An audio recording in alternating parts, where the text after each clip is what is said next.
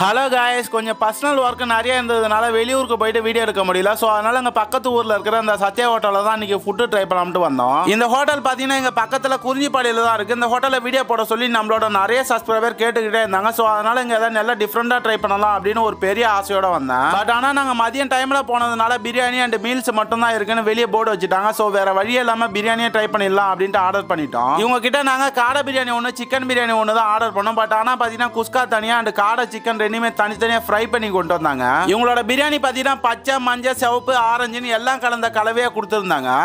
பச்சை மஞ்ச ஆரஞ்சு தமிழனா உலகத்தை ரசிக்க வந்த கடவுள் நான் தான்.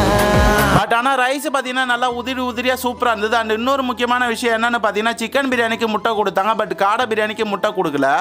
சோதிக்காதீங்கடா நீங்க சோதிக்காதீங்க. சரி ஓகேன்னு காடை ஃப்ரை சிக்கன் ஃப்ரை எல்லாத்தையும் எடுத்து லைனாக இலையில கொட்டி அவங்க கொடுத்த சால்னாவை பிரியாணியில் ஊற்றி லைட்டாக மிக்ஸ் பண்ணி சாப்பிட்டான். டேஸ்ட் ரொம்ப சூப்பராக இருந்தது. அண்ட் மசாலா எல்லாமே ரொம்ப செட்டில்டாக இருந்தது. ஓவர் மசாலா இல்லாமல் மைல்டான ஃப்ளேவரில் பிரியாணி சாப்பிட்றவங்களுக்கு கண்டிப்பாக இந்த பிரியாணி பிடிக்கும். அண்ட் எப்பவும் போல் நம்ம ஸ்டைலில் பிரியாணியை லைட்டாக மிக்ஸ் பண்ணி அது கூட முட்டை சிக்கன் ஆனியன் ரைத்தானு சேர்த்து வச்சு மொத்தமாக ஒரு பெரிய பைட் சாப்பிட்டேன். டேஸ்ட் ரொம்ப சூப்பராக இருந்தது. அதுவும் இந்த ஆனியன் ரைத்தா எனக்கு ரொம்பவே பிடிச்சிருந்தது. நல்லா புளிப்பான தயிரை ஊற்றி மிக்ஸ் பண்ணதுனால அதை அப்படியே பிரியாணி கூட வச்சு சாப்பிடும்போது டேஸ்ட் ரொம்ப சூப்பராக இருந்தது. அடுத்தது உங்களோட காடை ஃப்ரை தான் ட்ரை பண்ணோம். நல்லா மசாலாவில் ஊறின காடையை பிச்சு போட்டு ஃப்ரை பண்ணி கொண்டு வந்தாங்க. அதை திரும்ப என் கையால் பிச்சு பிரியாணியில் வச்சு ஒரு பைட் சாப்பிட்டேன். காடை நல்லா சாஃப்டாக இருந்ததுனால சாப்பிட்றதுக்கே ரொம்ப சூப்பராக இருந்தது. அண்ட் அது மட்டும் இல்லாமல் இவங்க கிட்ட பார்த்தீங்கன்னா நிறைய சைடிஷ் வச்சுருந்தாங்க.